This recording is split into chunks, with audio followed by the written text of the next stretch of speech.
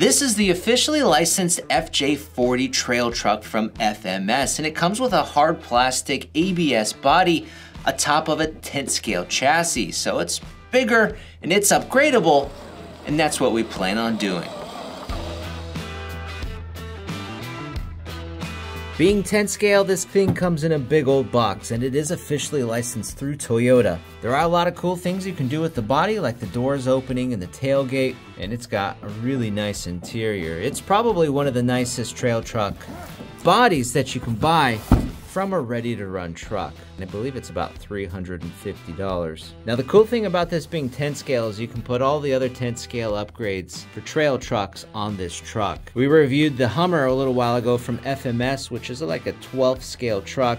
And a lot of people are unhappy that it was smaller. Even though this thing has tons of functionality, there isn't a whole lot you can do with it optionally. Can't upgrade much. It's an awesome little truck, but you have to really love Hummers to want to get this thing.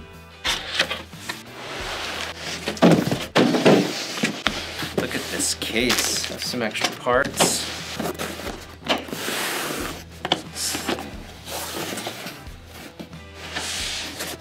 That is quite a case.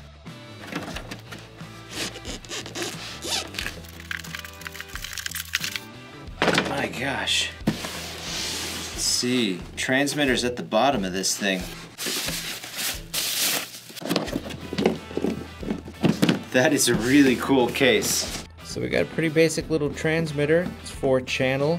It's really lightweight.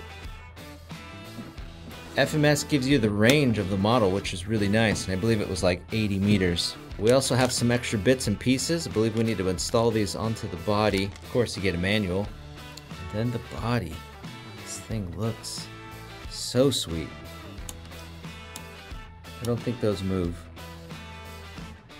So the doors open, the hood opens, everything that opens have these little round stickers on them to keep them closed. And then look at all the padding they put inside the interior.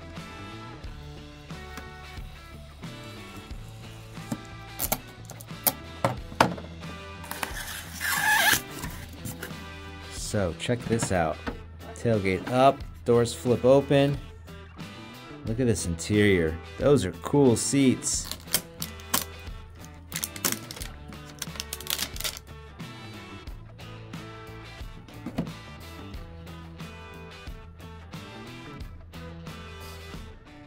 Look at this interior. This is like a rubberized seat. The pedals, our steering wheel, which does move as you turn. This hood op opens up too.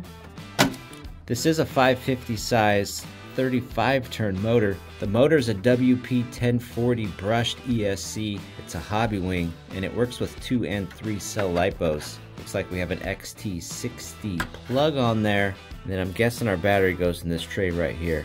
The steering servo is mounted up here in the chassis. These are the LED wires, so our headlights are wired in. Here's our mini servo. It's just directly connected to that steering wheel, so it turns as you turn. These are 1.9 size tires and wheels. They kind of have like a Hyrax look to them, but I think we should change that. And then our big old roof rack up here, where we could add a bunch of accessories, bungee them in there, and that's what we plan on doing. Before we do that, let's take a peek underneath. Super flat skid plate. Those rear shocks are mounted right onto the C-channel steel rails. Metal links, four link front, four link back, plastic telescoping drive shafts with some metal ends here. We should probably add these extra parts to the body. These running boards go on with two screws. The mirrors go on with two screws, there's also a front license plate holder that goes here on the bumper. We didn't put that on. Also, there's these two emblems that go on the body somewhere on the back if you want to put them on. But overall, the body looks dang gorgeous. But we bought some things, including tires and wheels. We're going to make it look even better. And here it is, all done. Now you guys know we have the KMC XD720 Roswell beadlock wheels and that satin finish and they look great. And then those have the RC four-wheel drive Mickey, Mickey Thompson Baja Pro X 1.9 scale tires on there. And it's a pretty aggressive lug on that tire and they feel really dang nice and they look well suited in this truck. It's a big tire, but this is a big truck. This truck has a 13.3 inch wheelbase, which is an inch longer than SCX 10 or other 10 scale trail truck. Now these tires are sticking out a little bit wider because there are the Incision number 6 wheel hubs behind them, so we can get a little extra width and have those tires stick out from the body. For the other accessories, these are the Yeah Racing red jerry cans, and then the straps are the Killer Body tie down straps. And then we just kind of wrapped them up and used some shoe goo on them. The jerry cans look a little small because the truck body is so dang big, but it's not bad. Now opening up the back, got a little fire extinguisher. That's the Yeah Racing fire extinguisher, and again, it's just been shoe gooed on the back of the door. You need a fire extinguisher handy. Now there's more scale accessories up top in the roof rack. This is an RC four-wheel drive cooler. These are Scale by Chris totes, Scale by Chris long rifle rack, and Scale by Chris recovery boards. And this is a Yeah Racing shovel. There was no good way to mount the shovel in there, so we just kind of wrapped it up in the netting, and that's a Yeah Racing net. But as it sits now, the body really bobs and moves around a lot, so this is not going to be good for hardcore crawling out there, but it will look great as a trail truck. So a couple of notes, there's no Velcro strap for the battery, so we added one. And then I heard somebody else mention that the steering throw isn't 100% of what it can be, but there's a steering dual rate. So we can just turn it up to get more steering throw. Yeah, you're gonna wanna do that out of the box.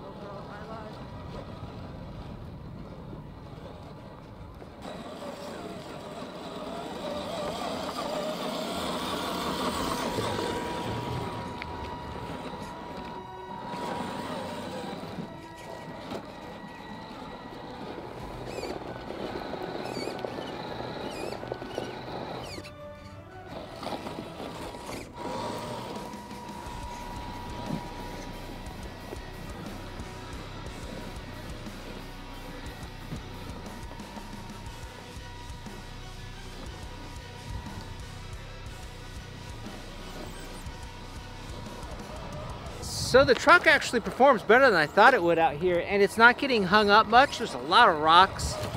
You know, the difficulty is really depends on the line you pick. But after going over some of the bigger rocks and seeing that really soft suspension sway the body around, it seems pretty realistic. And it's really enjoyable to watch.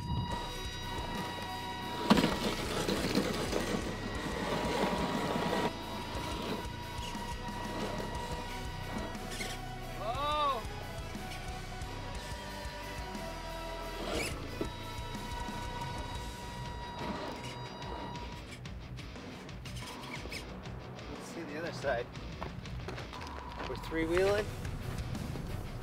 Is just teetering on that rock.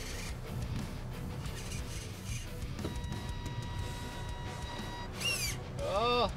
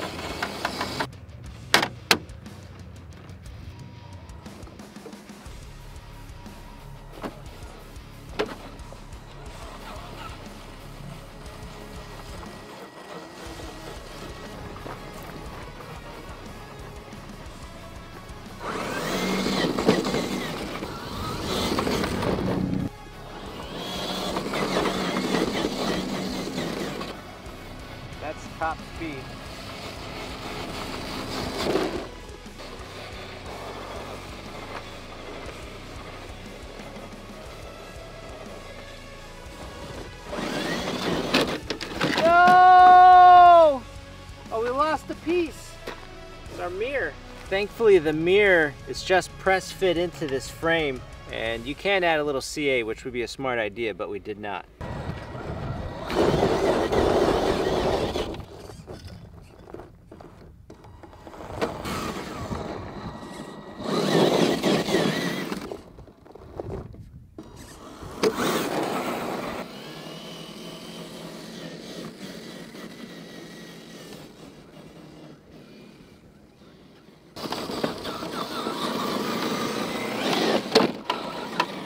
I thought all the body roll would be a hindrance out here, but it actually looks really cool. I think the body roll and how soft the suspension is makes it look more realistic. We added the wider hubs, which definitely improves how it doesn't roll over that easily.